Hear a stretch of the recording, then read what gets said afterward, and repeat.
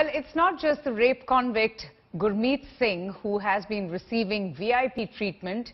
Now we're going to be showing you the images of the controversial self-styled god woman Radhima. Do you remember Radhima who also was uh, embroiled in a massive controversy? Well, here she is getting a royal welcome by the cops in East Delhi's police station. This is uh, the image that has been taken from East Delhi's Vivek Vihar police station.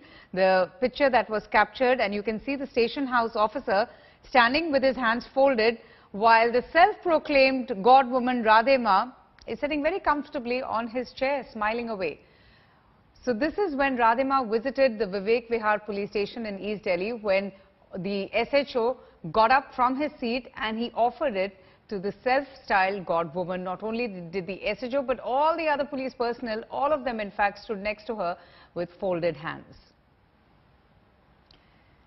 Chirag Goti joins us for more details and updates. Uh, Chirag, so why did Radhima visit this police station in uh, in Vivek Vihar? W what exactly was the purpose of her visit there? देखिए, अष्टमी का ये दिन था 28 तारीख था और last month का तो राधे माँ को यहाँ किसी प्रोग्राम में आई थी तो यहाँ से उस प्रोग्राम से एसएचओ विवेक बिहार जिनका नाम संजय शर्मा है, वो इनको अपने ऑफ़िस में लेकर आए और आप देख सकते हैं इमेज में भी साफ़ दिख रहा है। उन्होंने वेलकम किया और बाकायदा सीट पर जो मेन सीट है, उस पर बैठा रखा है।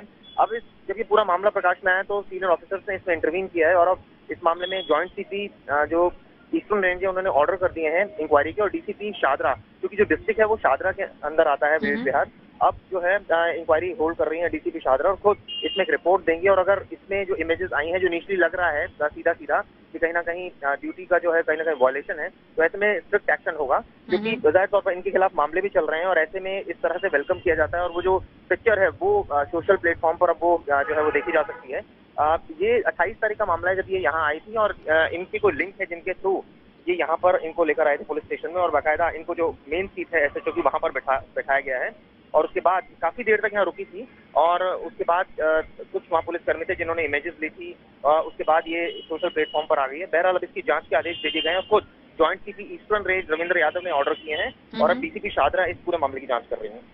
And this is the same Radhima uh, Chirag who we are seeing on our screens right now who had a dowry case against her. She in fact was even taken to the police station and now very comfortably sitting in the station house officer's seat uh, with him standing right next to her and everyone else folding their hands.